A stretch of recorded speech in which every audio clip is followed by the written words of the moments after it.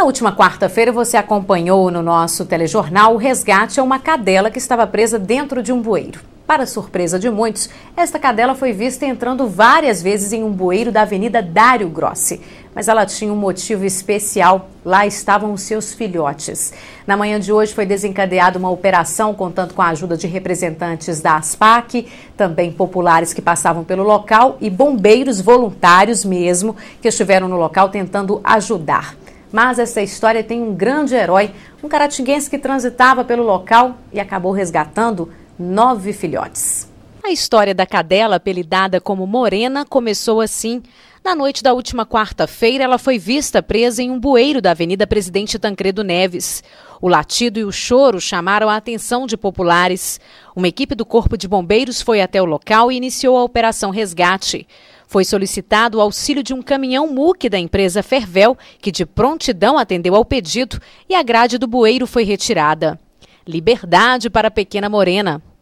Na noite de ontem, o chamado veio da Avenida Dário Grossi. O comerciante Davi Emanuel percebeu a entrada e saída de Morena deste bueiro. Flagramos o momento em que ela se aventurava pelo local. O choro alto de cachorros também foi ouvido. E fato, Morena deu à luz dentro do bueiro e os filhotes estavam presos. Na manhã desta sexta-feira teve início uma nova operação resgate. Desta vez, o estreito local de passagem foi o desafio e os filhotes estavam distantes desta passagem. Integrantes voluntários do Corpo de Bombeiros, Bonfá, Lucas, Iago, Leandro, Fabrício, foram de livre e espontânea vontade dar apoio à operação. Foram inúmeras tentativas. Morena foi colocada em uma corda na tentativa de atrair a atenção dos filhotes, mas se soltou, depois em uma coleira, e se soltou também. Populares que passavam pela localidade também paravam para tentar ajudar. Passavam-se as horas e as alternativas estavam ficando cada vez mais escassas. Integrantes da Vigilância Sanitária e da Secretaria de Obras da Prefeitura de Caratinga atenderam ao chamado e foram até o local. E adiantaram que, se necessária, a calçada seria quebrada para realizar o resgate. Porém, o caratinguense José Carlos, que passava de moto pelo local e parou para averiguar o que estava acontecendo, decidiu entrar no bueiro. A história ganhou um novo herói. Rapidamente, se arrastando pelo bueiro, ele retirou um a um os nove filhotes que estavam presos. Morena acompanhou de perto o trabalho. Nossa, espera aí, menino. Calma aí. Calma, Zé Carlos. Ganhou um já. Ah, que maravilha. Nossa, gente! Tava de cachorro. Ai, que gracinha. Peraí, vai segurando ele, responde ele aí. Ele tá, é. Pera aí, menino. Oi. Ai, se chover. Olha que lindo esse. Olha que lindo. Olha que lindo. Peraí. Dá esse aqui, dá esse aqui. Mais! Vamos ver aqui, aí, aí, ver. Olha, ó. aqui mais, ó. Ai, que gracinha. Depois você filma todo, tá? Hein? Tamanho dele? Vamos lá. Na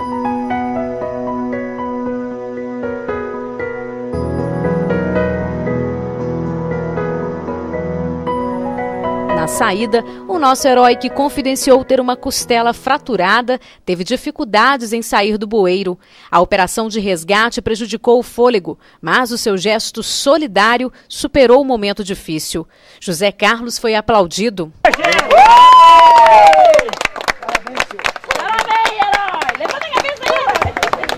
Aí eu vi o tumulto aqui do pessoal em volta do bueiro e cheguei aqui e que tinha uns cachorros lá dentro e não estava conseguindo entrar para tirar, né? Aí eu consegui entrar e tirar os cachorros, tinha muitos cachorros, estava longe da entrada, mas deu certo. Se chovesse, morria tudo. É porque eu já fiz isso outras vezes, onde eu morava direto uma cachorra criava lá perto, dentro de bueiro, aí eu tirava, eu cavucava, eu conseguia. Uma ação voluntária e nobre. Integrantes da ASPAC, Associação Protetora dos Animais de Caratinga, também participaram do resgate.